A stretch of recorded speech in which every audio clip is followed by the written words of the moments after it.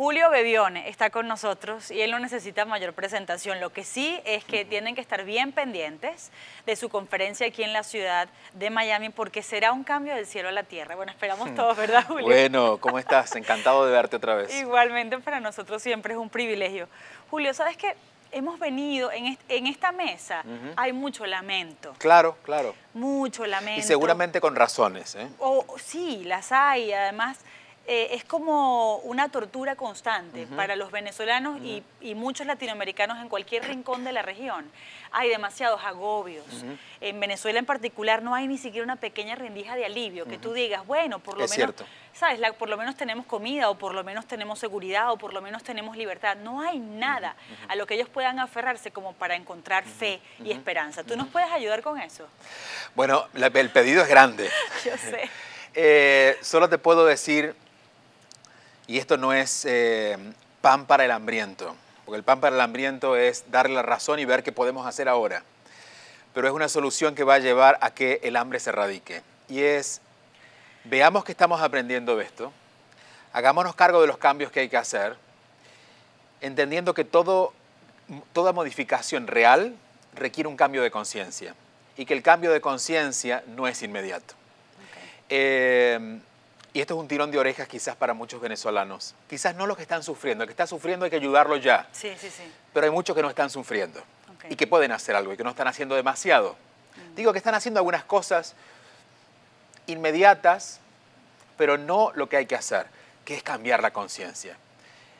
Hay que estar dispuestos, como hacía esta señora, eh, desde el, lugar en el que esté, de hacer lo que su conciencia le pide hacer, mm. aun cuando sea dificultoso, aun cuando no quede tan bien y aún con la valentía que a veces creemos no tener.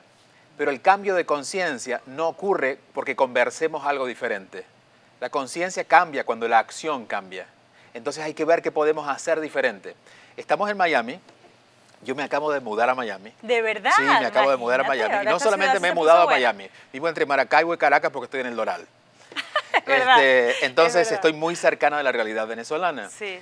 Y veo que todavía muchas de las razones que ha llevado al conflicto, que es la falta de conciencia al país, todavía la veo presente en muchos venezolanos.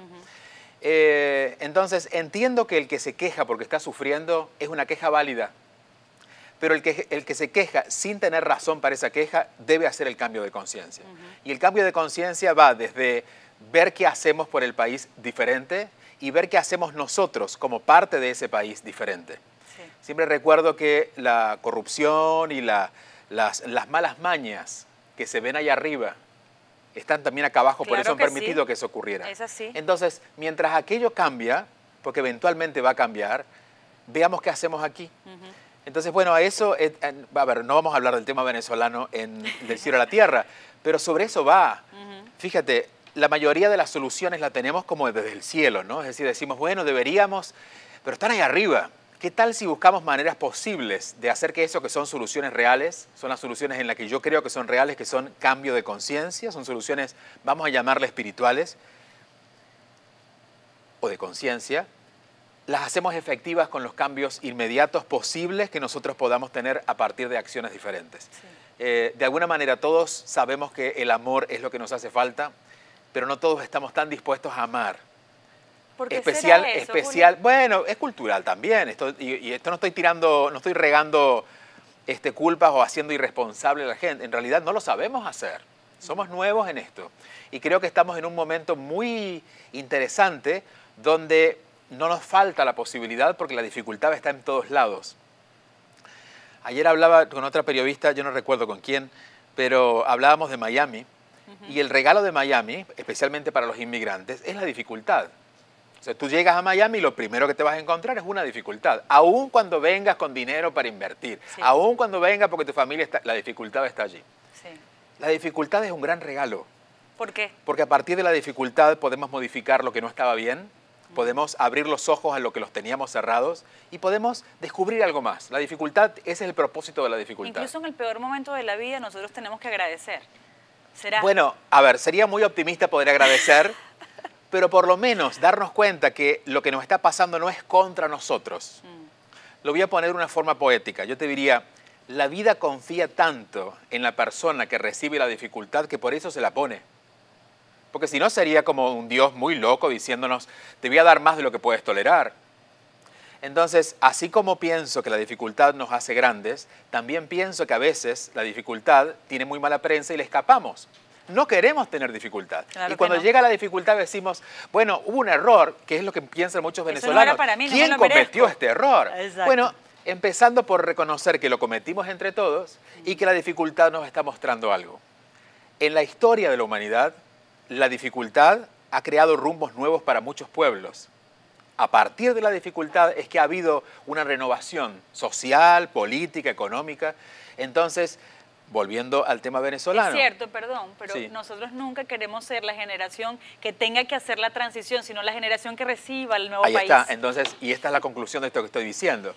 A ustedes, ustedes para abajo y para arriba, estas generaciones, digamos, nosotros estamos en el medio, pero están las que vienen, que le va a tocar, y las que están arriba, que están perdiendo lo que creían seguro. Sí. Les va a tocar sembrar una semilla cuyas flores quizás no vean, pero nos toca eso. A ver, a mí me ha tocado hablar de espiritualidad en un tiempo, bueno, ahora me creen más, pero antes nadie me creía. O sea, hace, hace 20 años cuando yo empecé con, a, darme cuenta de estas cosas, me tocó sembrarlo.